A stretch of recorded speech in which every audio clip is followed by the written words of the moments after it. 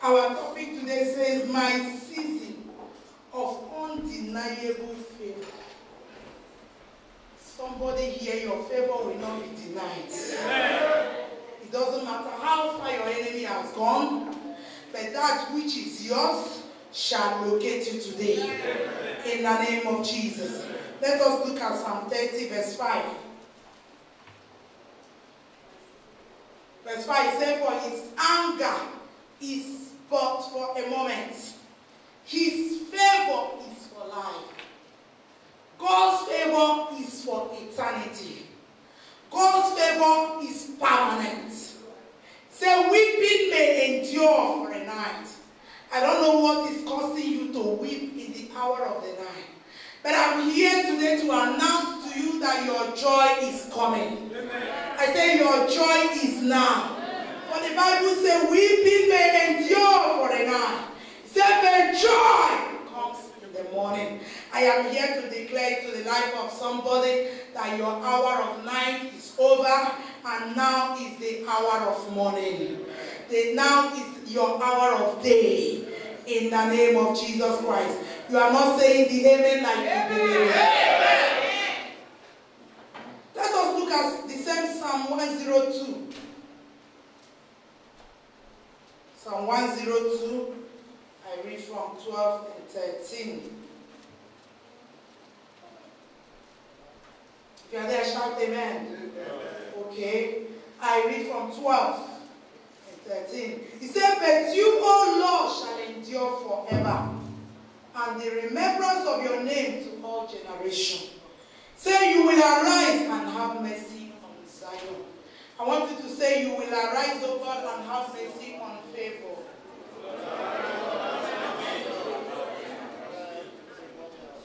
Zion means church, and you are the church. And God is telling you today that He will arise for your sake. He will have mercy on you. He said, For the time to favor you.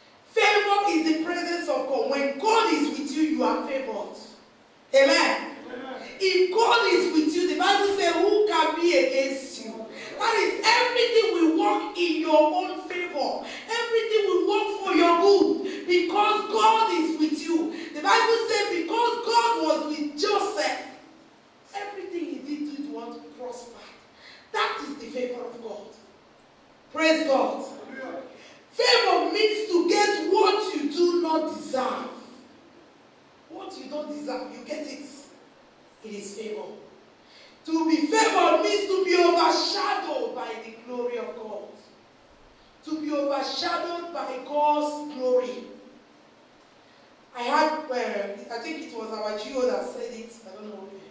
A lady came for deliverance. And she has been believing God for the fruit of the womb. And uh, you know, it, they have sections deliverance. This one are for people for child, uh, fruit of the womb, this, this, for Holy Ghost and all that. And while she was coming, she wanted to go to where where they are doing deliverance for people need that need the fruit of the womb. And the usher said, No, you go here. He said, No. What group is this one? He said, This one is for uh, Holy Ghost Baptist. He said, I'm not here for the Holy Ghost. I need uh, the fruit of the womb. I want to go. The, the man said, No, stay here. And later, she stayed. And while the deliverance was going on, the power of God located her. And she was delivered because the glory of God overshadowed her. The Spirit of God took over her and that brought what she has been looking for. That deliverance, that touch that they opened a way for her and she became fruitful. Praise God. So the favor of God is what? Is the glory of God when you are overshadowed by the glory of God, by the presence of God. Let us look at Genesis chapter eh, 39. Genesis 39.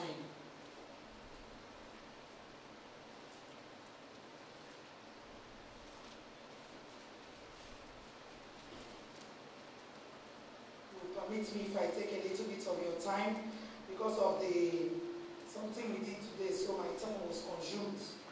Praise God. Genesis 39. I will try as much as I can to finish on time. Genesis 39, I read from verse 2. He said, listen very well. He said, The Lord was with Joseph, and he was a successful man. And he was in the house of his master, the Egyptians. And his master saw that the Lord was with him. The master saw that God was with him. He looked at him, he said, This man is highly favored. He's not ordinary. The glory of God is upon him. He has the glory of God walking out with him. He's carrying the presence of God all over. I can see that God is with this boy. Praise God. And his master saw that the Lord was with him and that the Lord made all he did to prosper in his hand. So Joseph found favor in his sight and served him. Joseph supposed to be a slave. Praise God. But instead of being a slave, he found favor with God and he became now an overseer in a place where he's supposed to be what? A slave. He became in charge. Let's read down. Then he made him overseer of his house. It can only be favor. Can only be favor. He's supposed to be a slave. Then he made him overseer of his house, and all that he had, he put under his authority. That is to say, he became the general manager of everything that is going on in the house of his master. Look at what happened. And all that he had, that the Lord blessed the Egyptian's house for Joseph's sake. And the blessing of the Lord was on all that he had in the house and in the field. Let me tell you, many of you, some of your balabai, they don't want to let you go because they see the favor of God upon you. They may not tell you, but they know that since the day you enter their house, things have turned out for good for them. Praise God. That is why you can walk in houses 10 years, 20 years. They don't want to let you go. And anyone that is not, that is, does not have the favor of God, once you come today, they will tell you, I will call you. And I will call you will be forever. Praise God, because they don't have the favor. It doesn't matter. Don't say it's because I work very good. No. When the favor of God is there, it doesn't matter how good you work or you don't work good. Praise God. Because of favor. He found favor before his master. And the blessing of the Lord was on all that he had and in the house and the field. Thus, thus he left all that he had in Joseph hand. And he did not know what he had except for the bread which he ate. Are you following? Joseph got what he did not deserve by the reason of what? Favor. The psalmist said God's favor is for life. And when God's favor is upon you will be celebrated.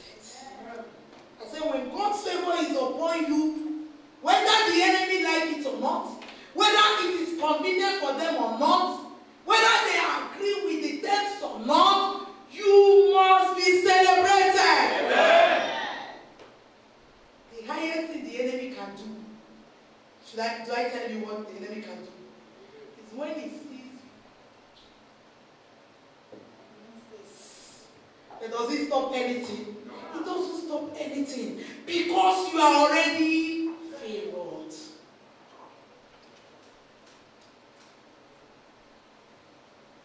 When you are favored, you are favored.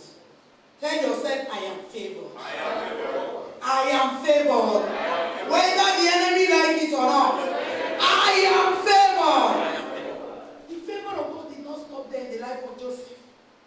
When you go back again to, to, to chapter 41, when you go to chapter 41, let us look at from 37 down. The same Genesis from 37. It says, So the advice was good in the eyes of Pharaoh and in the eyes of all his servants. And Pharaoh, you know the story very well. The advice I gave Pharaoh after he, he was taken out of the prison. This is what he's talking about. And Pharaoh said to his servant, Can we find such a one as this? A man in whom is the Spirit of God. Let me tell you, when somebody was has been in the prison, doesn't matter so much in the society. Is that not so? It doesn't matter. Because he's like a criminal, ex-convict. He has nothing to offer to the society. Praise God.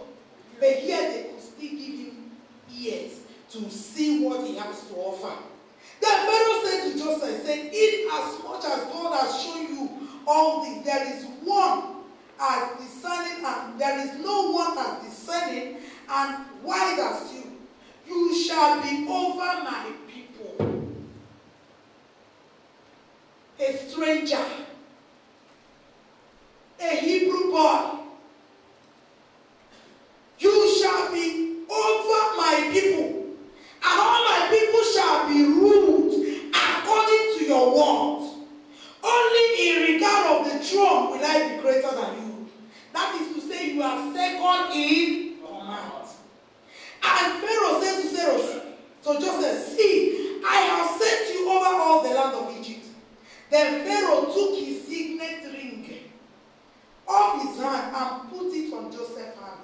And he clothed him in garment of fine linen and put a gold chain around his neck. And he had him ride in the second chariot which he had, and they cried out before him. They bowed the knee. So then he set him over all the land of Egypt. Praise God. Pharaoh also said to Joseph, I am Pharaoh, and without your consent. That is to say, whatever that will be done in the land of Egypt, if Joseph said no, it is No. and if he said yes, it is. Yes. Say, without your consent, no man shall lift his hand or his foot in the land of Egypt. Somebody say favor. Favor. That favor is coming upon you. Amen. In the name of Jesus. Close your eyes and pray like this. Say, Father, Father. let favor and mercy locate me today. In the name of Jesus, are you praying that prayer?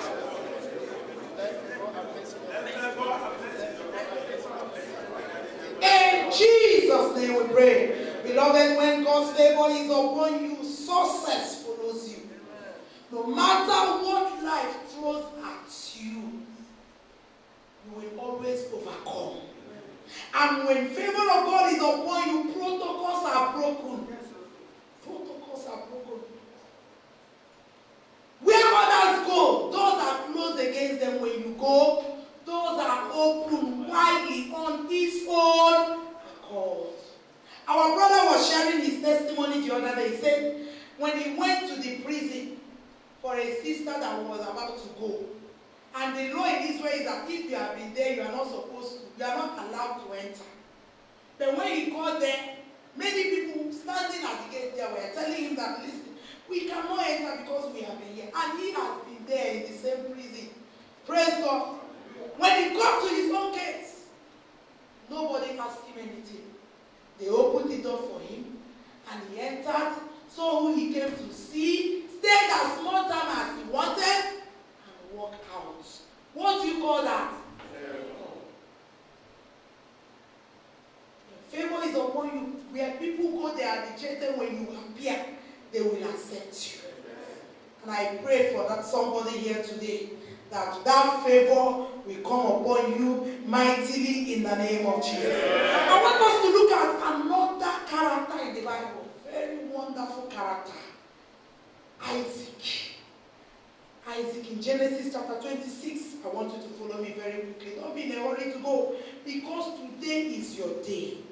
Anything that is causing disfavor in your life shall be disgraced. Amen. In the name of Jesus. I want your amen to be loud. Don't shout amen like you don't understand it. Praise God. Hallelujah. Genesis chapter 26, follow me very quickly. There was a famine in the land beside the first famine that was in the days of Abraham. I read from verse 1. And Isaac went to Abimelech, king of the Philistines in Gerar. Then the Lord appeared to him and said, Do not go down to Egypt. Live in the land of which I shall tell you. Dwell in this land, and I will be with you and bless you. For to you and your descendants I will give this land. And I will perform the oath which I swore to Abraham your father. And I will make your descendants multiply as the stars of the heaven.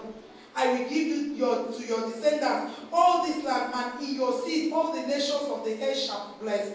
Because Abraham obeyed my voice and kept my commandments and my statutes and my laws. So Isaac dwelt in Gerar, and the men of the place asked about his wife. And he said, She's my sister, for he was afraid to say she's my wife, because he thought, lest the men of the place kill me for, for Rebekah, because she is beautiful to behold. Now it came to pass when he had been there a long time that Abimelech, king of the Philistines, looked down through a window and saw that there was I there and saw there was Isaac showing endearment to Rebekah his wife. Then Abimelech called Isaac and said, Quite obviously, she is your wife. So how could you say she is my sister? Isaac said to him, Because I said, Lest I die on account of her. And Abimelech said, What is this you have done to us? One of the people my son have lain, my son have lain with your wife, and you would have brought guilt. So Abimelech charged all his people, saying, He who touches this man or his wife shall surely be put to death. He was afraid. And now it's become a law. And anybody that touches this man and his wife shall be put to death. That is the favor of God. Why? Because God was with him. Praise God. Then Isaac, listen, then Isaac sold. He sold in the land where there is scarcity. He sold in the land where there is famine. The Bible says in the same year, a hundredfold, and the Lord, he reaped in the same year a hundredfold. And the Lord blessed him. The man began to prosper. The Bible says he began to prosper and continue prospering. He prospered and he continued prospering until he became very prosperous. So there is difference between prosper, prospering and what? Prosperous. So you need to get to that level. Praise God. And it can only be by favor. It's not by works. It's not by struggling. It's not by strength, but by the favor and the mercy of God. And I want you to know that favor does not work without mercy. Favor and mercy work hand in hand. That is why it is something you do not deserve, but because of the mercy of God, He give it to you. Praise God. He became prosperous, for he had possessions of flocks and possessions of herds, and a great number of servants. So the Philistines envied him. Praise God. A whole nation envied one person. You can imagine it. How the favor of God works. A whole nation, a whole Philistine who envied one person by the reason of what? Favor. And I pray for you that the favor that God is about to release to you will make your enemies to envy you. I said they will envy you. When God's favor come upon you, things must turn around for you. It must turn around for you. Praise God. Our Lord Jesus Christ also experienced the favor of God that you can see in Luke chapter 3 from verse 21 to 22. I want you to see something very, very important there. Luke chapter 3, 21 to 22 is very, very significant. The favor of God. Are you there now? Amen. Okay, from 21 to 22, I want us to use our Bible. He said, when all the people were baptized, all the people were baptized. Jesus too was baptized. And as he was praying, heaven was open.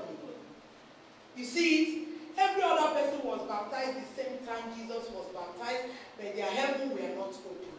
But the moment Jesus was baptized and he came out of the water, the Bible says his heaven was open. And lo, a voice came from heaven and said, You are my son, in whom I am well pleased. That is the favor of God. Praise God.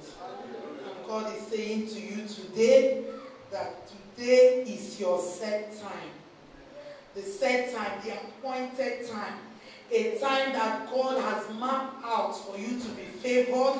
It is your day, it is your season. And when your season comes, nobody can stop it. When it is your season, no hand, no wicked hand, no witch, no wizard, no authority, power from the air, in the land, in wicked enemies, they cannot stop your season. For the Bible says the set time is now. The set time to favor you is now. And that was what happened exactly in the life of David. You know very much the story. In 1 King chapter 16, when God asked Samuel to go and anoint David. And when he got there, even the father wanted to be a hindrance for him. Because when he got there, the father began to present his sons. And the power of God said, No, I have not chosen these ones. He presented all of them. He never realized, never remembered that there is one somewhere until the man of God had to ask him and said, Are these all your sons?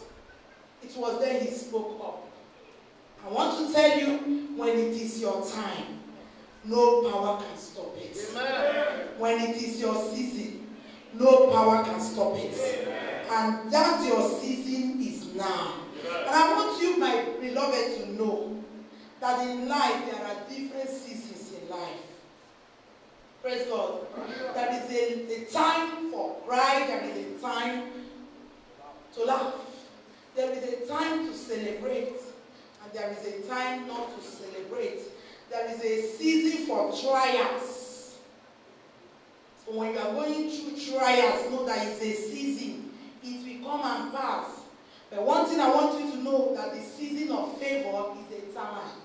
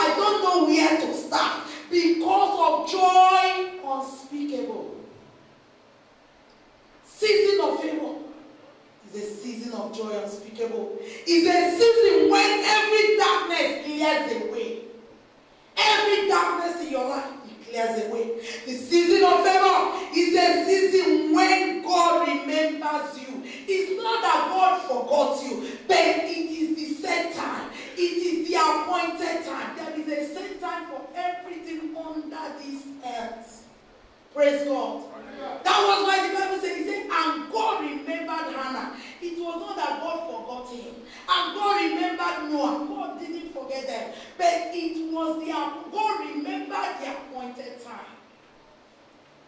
And when the appointed time came, you see breakthrough.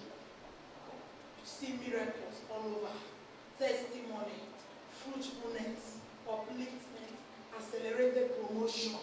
When it is your time, the time designated to, by God to show up and showcase His glory in your life. A season of favor is a season of celebration. As somebody is walking out to here today, you will begin to celebrate. It is a season of breakthrough. It is a season for all your struggles to come to an end. It is a season of laughter. It happened in the life of Abraham when he entertained the, the, the, the, the, the angels in Genesis, I think in chapter 18. He entertained the, the, the angels. He never knew that it's, go- it's in season. He never knew that that was a set time for the child that they have been praying for to come. He never knew that was why the wife laughed. Praise God. He never knew it was going to be a season of laughter.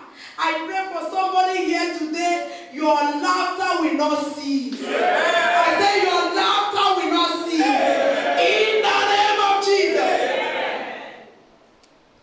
believe it, laugh.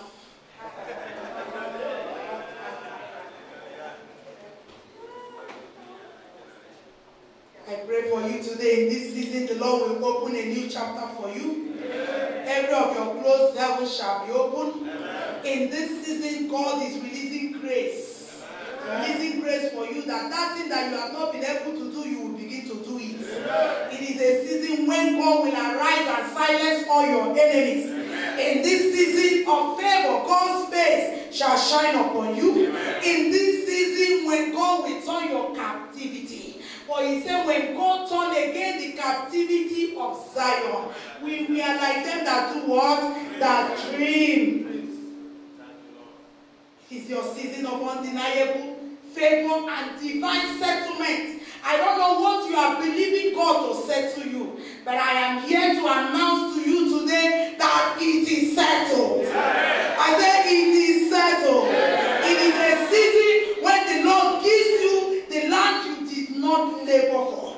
The Lord is about to give you the city you did not build and the vineyard which you did not plant.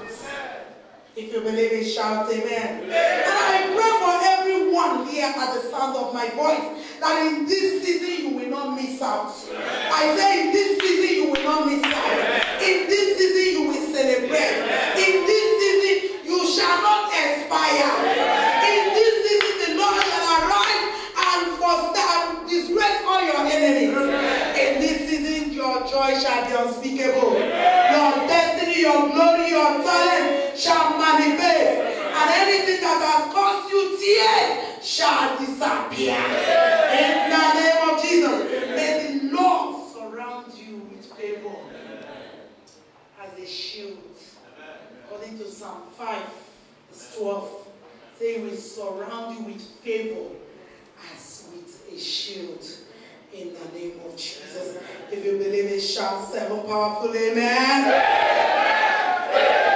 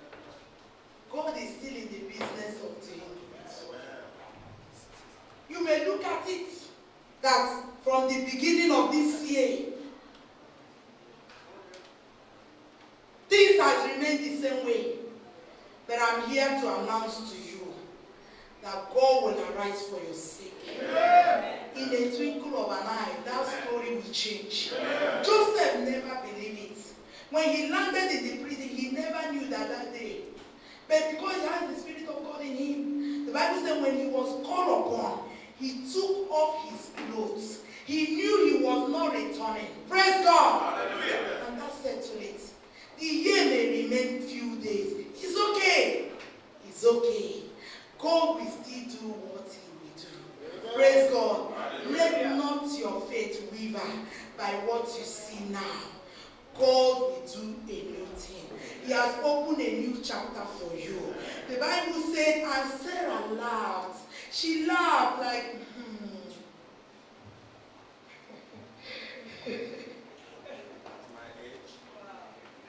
like I'm laughing now. She laughed like, hmm. do they even know what they are saying? Praise God. But because it was the appointed time, even her unbelief could not stop the miracles. Praise God. Her unbelief could not stop it. And they declared unto her, say, by this time next year, you will carry a child. And it came to pass. I declare to your life today that everything that has been troubling you come to an end today in the name of Jesus. If you are here and you are believing fruit of the womb, by this time next year you will dedicate your child. I say you will dedicate your child. You are believing God for a life partner. Very, very soon it shall not be long. We will celebrate your marriage in this altar, in this place, in the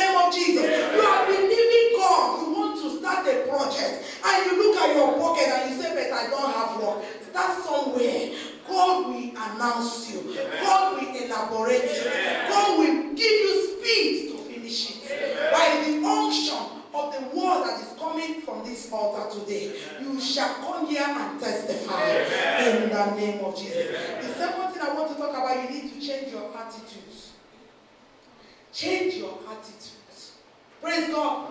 When Hannah appeared in the house of God and the man of God said, Go home, it is done. The Bible says she went, she ate food, and her countenance changed. Change your countenance, for the set time is. The set time is.